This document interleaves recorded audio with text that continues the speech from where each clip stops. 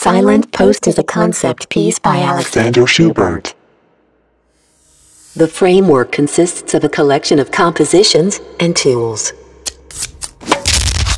Participating artists choose a piece from the existing silent post works. Then they create their personal interpretation based on it.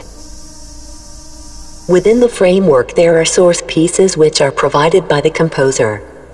And there are the user contributions, which were derived from these pieces.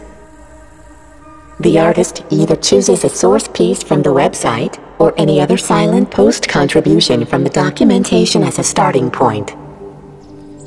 With each new version, the material is transformed, reinterpreted, and changed. And new material is included.